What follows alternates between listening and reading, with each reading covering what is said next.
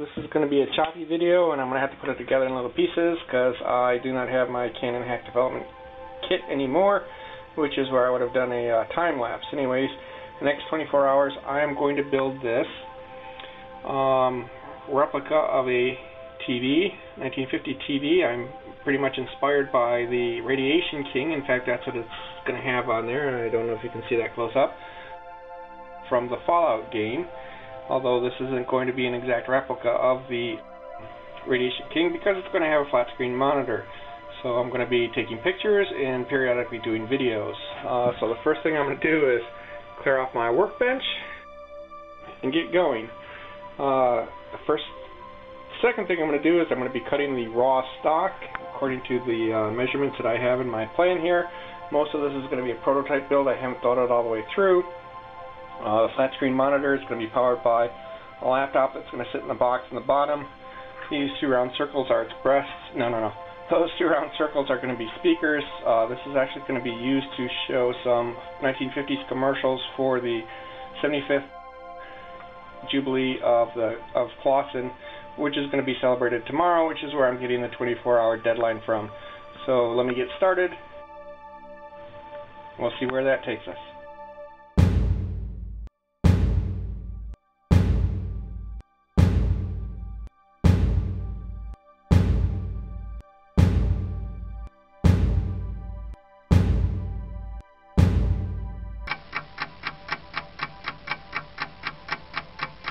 What I need to do is I need to put a gusset on here. And so what I'm going to do is mark the measure.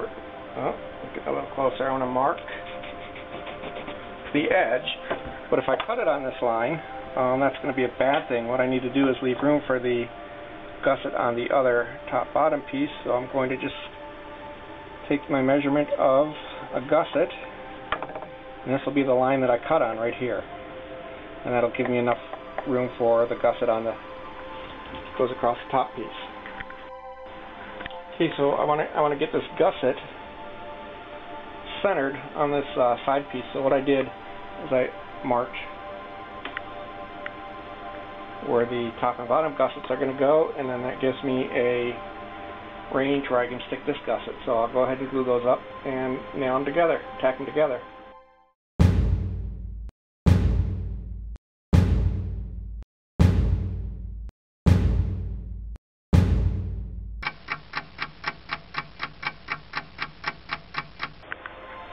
Okay, I was bad and I cut, cut out a couple steps, so I'm going to try and catch them up. Um, this is a piece of 5 8 inch uh, oak that I had, and you see that I, I hollowed it out in the back, and I'm going to show you why that is. This is going to be where the buttons are going to be mounted. And I'm going to have a uh, grill plate. Um, it's going to go in there like that. So there'll be um, there's going to be a grill cloth over here. It's going to have the Radiation King crown and words, and behind it, it's going to be cut out, and I'm going to have um, speakers mounted there. And as you can see, it slides right in under there. And you can also see that I left some gaps here because it's going to be wrapped with cloth, which is going to make it a little bit wider. Uh, over here, what I'm doing is I'm cutting some legs, uh, and I'll do that next.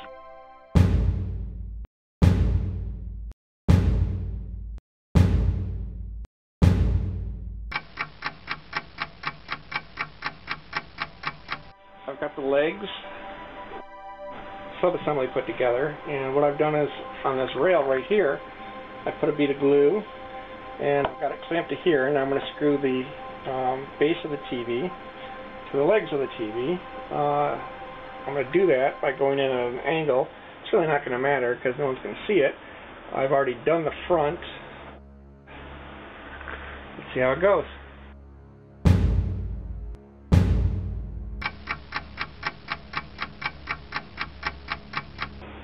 I've got the body put together. It's in the house drying right now. I need to do some measurements on it. And um, in the meantime, what I thought I'd do, actually I'm doing two things. I got the electronics setting up right now. Uh, what I need to show for the for tomorrow is an MP4 format, which the laptop I'm using, it's an old laptop, doesn't doesn't have MP4 capability. So I'm putting the VLC player on it right now. While that was happening, I thought I would come back out here and attach the grill cloth to the vacuum board. Before I do that, uh, I need to cut some holes in here, so in case I put some speakers behind, uh, the sound can come out. So that's what I'm going to do right now. And what I'm going to use is this little fly cutter here. I got that off of um, the internet, Amazon specifically for eight bucks, and it's been probably one of the most useful tools I've ever gotten. Uh, so I'm going to do that setup, cut a hole, and then I'm going to staple this to my piece of Luan here.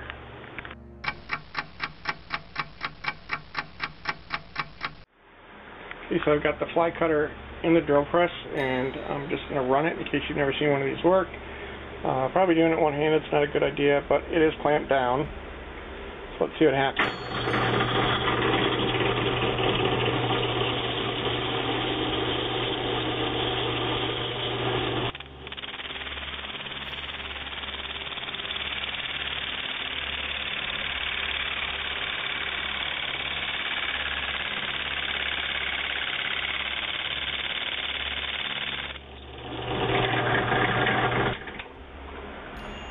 So there you can see the kind of uh, hole that it's cutting. It's actually really smooth, way smoother than um, a hole saw would be if you had a hole saw this big. And the other thing is it's perfectly round.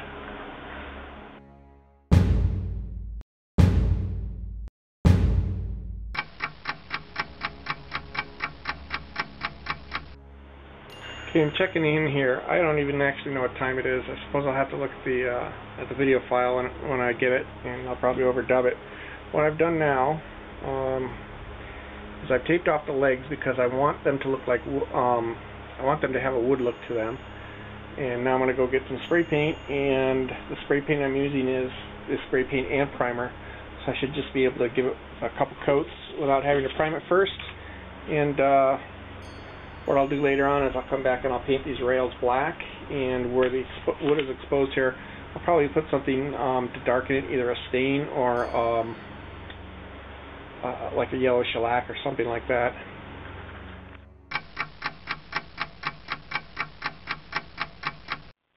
Okay, so these are going to be the insides. Um, I'm going to play a DVD on that uh, laptop. It's an ancient laptop. I can't even get it to play an HD uh, DVD. So I'm uh, down converting it into an MPEG format.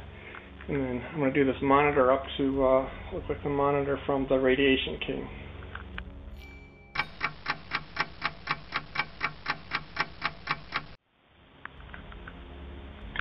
Okay, I began painting and I want to show you these.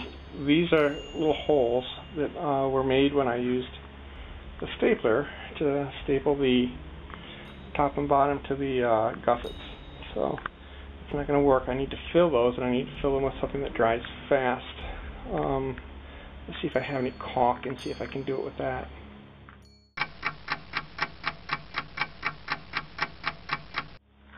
Okay, I know this light is crappy and I apologize. I guess get it back with it in front, of front light lighted, lighted. I'm getting a little tired here. Um, see I've got a coat of paint on it. It's kind of like a uh, tan color. Hoping to get um, like a plasticky color from it. Let's come over to this side and you can see where I've got all, well maybe you can, maybe, yeah there it is. You can see I've got all sorts of runs. I'm probably going to have to take that out with sandpaper, but the problem is that where I've um, where I've used the router on the MDF, it, it just soaks in and, and, doesn't make a nice uh, doesn't make a nice finish. What I ended up doing with uh, the nail holes, at least the ones I'm showing, is I actually used model filler on it. I've used mod model filler on wood before. It actually works pretty good, and it dries super super fast. So I'm going to leave this alone to dry. After it dries, then I can uh, do some touch up and in the meantime I'm going to work on the monitor.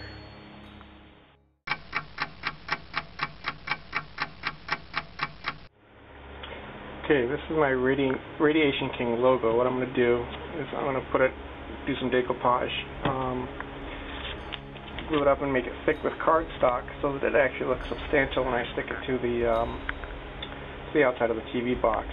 Once it's decoupaged, I'm going to paint it gold, paint it crown gold, and probably outline the letters in silver or something just to make it stand out and look like it's a uh, some kind of commercial logo.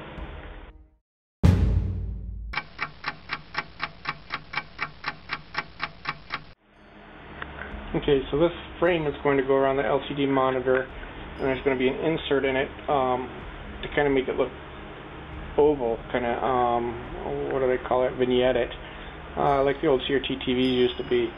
What I'm doing right now is I'm using my fly cutter again to cut a couple knobs that are going to be on the side, and then I'll have to cut some smaller knobs to go on the front.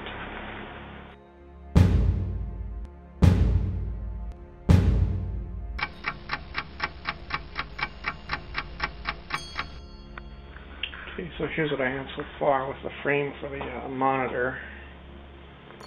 Uh, okay, I'm not 100% happy. I, I should have the vignetting cover all that, but um, I think I'll be okay. One of the cool things is, is I actually got the Westinghouse symbol showing.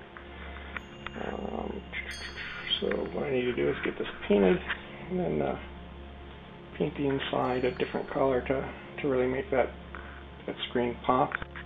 Um, this base is coming off and it's going to be screwed to the top of the uh, quote-unquote TV base. I just can't do it right now because the paint's wet.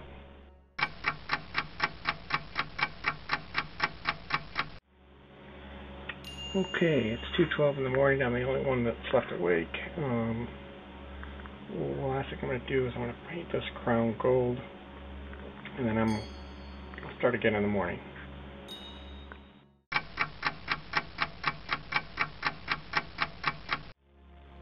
Okay, it's 7 in the morning. That's the last thing I did last night was paint the Radiation King uh, symbol. Let's see what's out in the back.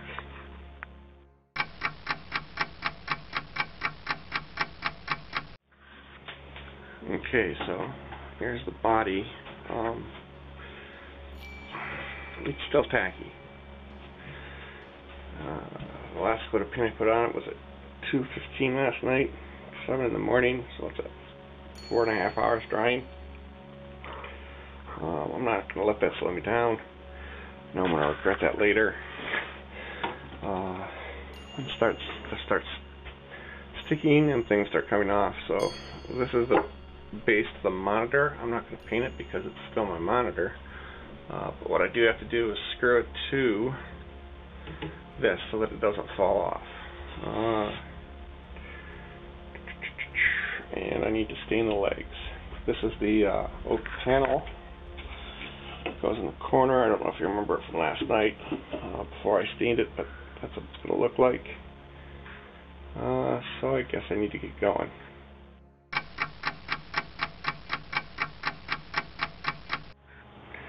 Here's the frame for the monitor It's kind of at a goofy angle because it's hanging off the clothesline. Uh, I had to paint it this light gray color because I am actually out of the other color paints that I was going to use. Um, I don't know if you can, you can get a close up there. I'm obviously going to take a couple coats, which is a bummer because I don't know if it's going to have enough time to dry. It's a pretty good steady breeze, so so maybe it will. I just can't keep uh, pouring in the paint, it'll just glob at this point. I gotta let this dry and then come back and give it another coat.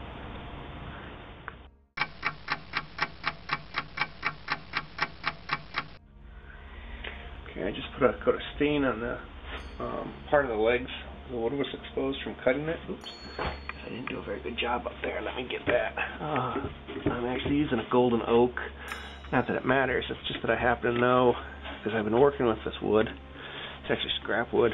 Um, what I needed to do to match the old finish.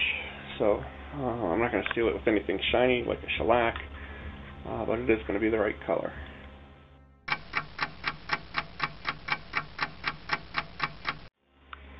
Okay, so um, the monitor stand is screwed to the body, and uh, the monitor actually clicks into the stand. I have no idea how I'm going to take it apart later. Um, but that's not my concern right now. I've Got the Radiation King symbol on there. I've got the legs stained. I'm going to print out some labels for the dials. And then the, the actual dials are drying, although they, they really look like crap because I made them out of pine and I didn't have a chance to sand them. Um, of course, the ring that goes around the monitor is also um, is also drying. So it's about 8 o'clock right now, maybe 8.30. Uh, the only thing this has to do between now and 10 is dry.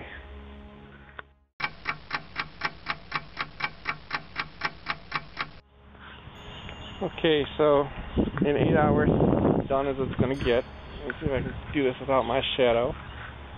Um, the knobs that I made are not going to be able to dry in time, so I'm just going to use paper ones for today. Uh, I don't have the electronics stuffed in it right now.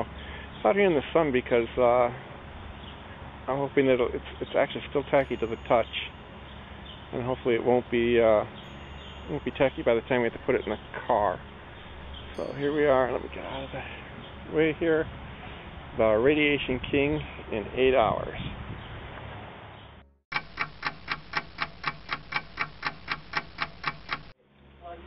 Okay, so here's the final shot. I'm just making a video. Don't freak out. I'm not talking to myself. I do that, but I'm not doing it right now. Oh, Uh, we like it when people are crazy. I started at 8:12 last night. Um, I finished at about 8:43 this morning. And yeah, you can see my shadow there. Let me get out of the way. And actually, you can't even see that it's running. So let me figure that out.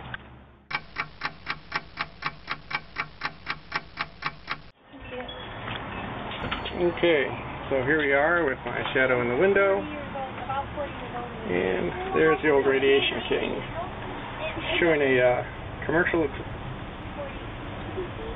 cross between Mitch Miller and Liberace.